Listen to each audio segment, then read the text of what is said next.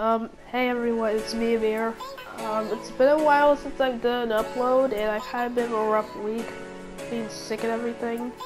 So I thought that I needed to get something for the next video, so I decided to make a little montage full footage I never uploaded. I hope you guys enjoy.